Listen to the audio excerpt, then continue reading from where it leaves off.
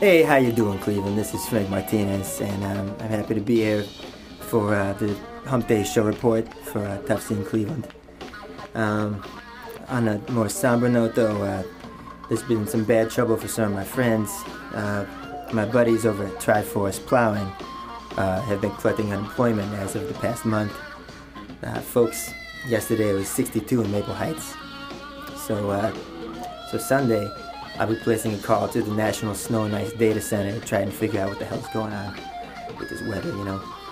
Uh, coming up on Saturday is my niece's birthday, so uh, Sunday on the show, uh, I'll be getting in touch with uh, Rich's Inflatable Fun and Games, try to get an estimate on one of those castles for kids to bounce around in. And uh, on the show also Sunday, I'll be sharing my review of Frank Russo's new memoir, uh, Sex, Drugs, and Pasta Fazool, My Life in the Public Eye in the Turkish Bathhouse. Uh, I'm to have some Wilson Pickett lined up for you Sunday. Uh, Wilson Pickett, one of my favorite singers. And, uh, you know, ladies and gentlemen, I got a little bit more bad news. Uh, early Monday morning, this past Monday, we had our network provider, VisionNet LLC, come in and move some things around, you know, with the internets. And uh, lo and behold, I come in the studio this morning we're missing all Z's from the keyboards. So I need to find all these Z's, these missing Z's, you know. Uh, Rick Wise will be in the studio. And uh, here are this week's shows. Thursday, February 2nd, at the Beachland, they got American Babies featuring Tom Hamilton of Brothers Past, along with Humble Home and the Luxuries. That'll be a nice show. Luxuries nice guys.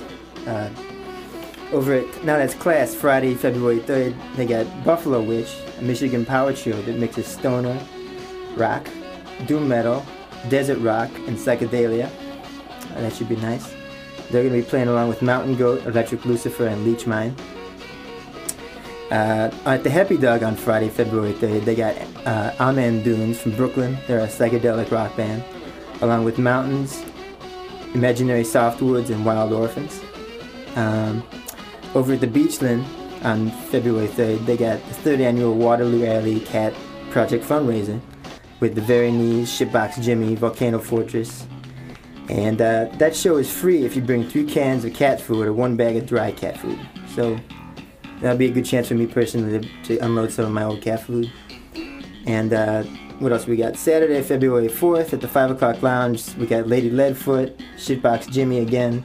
I, I can't say enough good words about Shitbox Jimmy. And uh, Shouting Thomas Torment.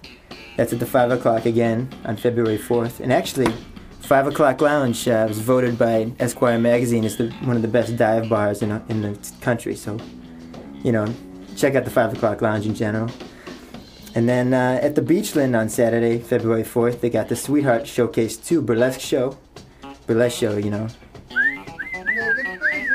Featuring uh, Bella Sin, Fantastic Light, and Constantinople. And then uh, after all those shows all weekend, you're probably to want another show. So Sunday, February 5th, and now that's class, they got a Super Bowl party and movie night. They're playing Straw Dogs, great film from 1971, and uh, The Wicker Man, great 70s movies, best era for movies in my book. And uh, that's a free show, so if you need a good place to watch a Super Bowl, check out Now That's Class.